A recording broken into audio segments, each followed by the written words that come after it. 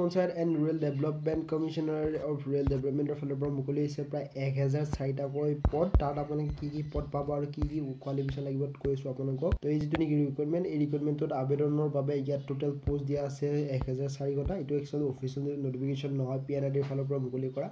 এইখন P N I ডিৰ মানে পি এন আই ডিৰ ফালৰ পৰা মুকলি কৰা এখন শ্বৰ্ট নটিফিকেশ্যন য'ত পষ্টবিলাকৰ নাম দিয়া আছে ভেকেঞ্চি দিয়া আছে আৰু দৰমহাৰ কথা উল্লেখ কৰা আছে।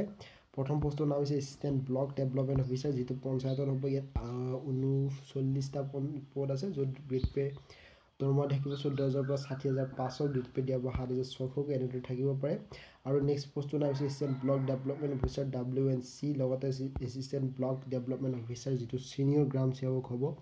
তাৰপিছত গাঁও পঞ্চায়ত ছেক্ৰেটৰী তাৰপাছত জেনিয়ৰ এছিষ্টেণ্ট যিটো first newly created J P Z পিৰ বাবে হ'ব লগতে টেক্স কালেকশ্যন কামৰূপ মহৰাৰ বাবে হ'ব।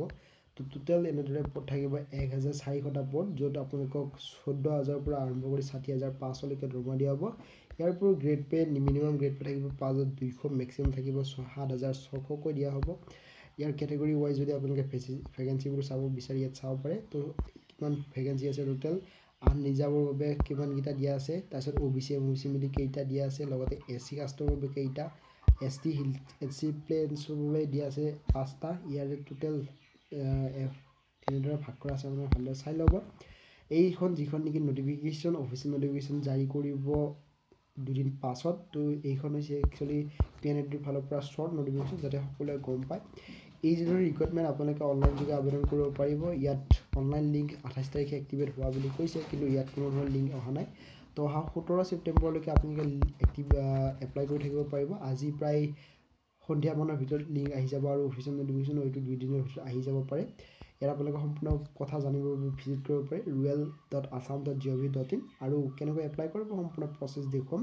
ইয়াত যিটো নেকি লাষ্ট ডেট লাষ্ট ডেট হৈছে submission of online application it সোতৰ ছেপ্টেম্বৰ তাৰিখে লাষ্ট ডেট হ'ব। আপোনালোকে ভালদৰে ইয়াত ষ্টাৰ্টিং ডেট আঠাইছ তাৰিখৰ পৰা হৈছে কিন্তু এতিয়ালৈকে লিংক এক্টিভেট হোৱা নাই বাৰু। এজ চুন এজ পচিবল আপোনালোকে লিংক এক্টিভেট হ'ব আৰু লিংক এক্টিভেট হ'লেই আৰু আগত জনাম। আৰু ইয়াৰ পৰা মিনিমাম কোৱালিফিকেশ্যন আপোনালোকে ধৰি থ'ব পাৰে হাই গ্ৰেজুৱেশ্যন পাছ এইবিলাক পোষ্টৰ বাবে গ্ৰেজুৱেশ্যন নহ'লে আপোনালোকে এপ্লাই কৰিব নোৱাৰে। আৰু হয়তো এটা আপোনালোকে হাই ছেকেণ্ডেৰী পাছতো কোনোবা এটা পদ মুকলি হ'ব পাৰে তেওঁলোকৰ ফালৰ পৰা। তো আপোনালোকে আপডেট থাকিবৰ বাবে চেনেলটো ছাবস্ক্ৰাইব কৰক যাতে সকলো কথা গম পায়। ধন্যবাদ।